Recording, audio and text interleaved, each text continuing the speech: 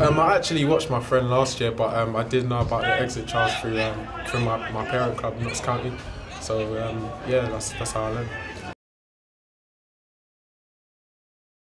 For some people, this is this is the only opportunity that they that they have. So um, it's great to just play and put yourself back in a in a spotlight for other teams to, to come and have a look at you. Um, the main aim right now is, is to be playing football. I haven't really thought about anything else, but um, I'm going to dedicate myself like this year into trying to find another team. And that's the main aim, really. So I haven't really planned ahead, but.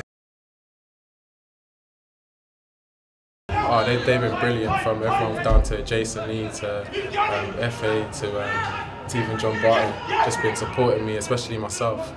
And um, yeah, with everything, whatever I need, the, the one call away. It's brilliant.